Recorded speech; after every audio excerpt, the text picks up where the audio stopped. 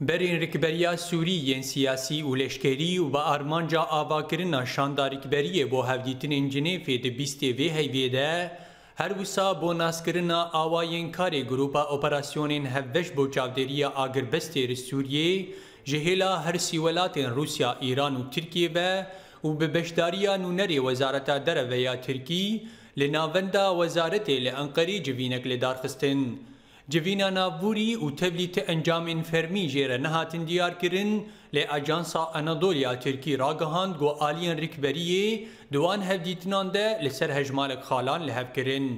Wekî ew qebûl nakin ku aliyên rîkberiyê yên nerewa û yên ku li dijî yekrêziya xaka Sûriyê kar dikin li gorî nerîna wan ku di hevdîtinên Cinêvê de beşdar nebin. Ew qebûl nakin ku rejîm û bi riya binpêkirinên wê ji agirbestê re ku bajarên din li Sûriyê kontrol bike.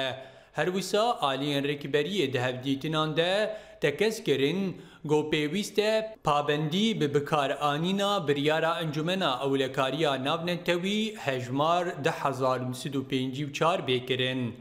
Her li ser mijara civîna rikveriyê li Tirkiyeyê Serokê Encumena Niştimanî ya Kurd li Sûriyeyê Birahîm Biro di kongirek rojnamevanî de û di heyama bersiva wî li ser pirsa behsa federaliyê di civîna rikveriyê de li gel wezareta dereveya Tirkî eşkere kir go xala federariyê di wan hevdîtinan de nehat gotûbêjkirin. Her wisa Biro got, Ku agahiyên alavên ragihandinê yên Tirkiyê derbarê gengeşekirina federaliyê di wê civînê de ne rast in.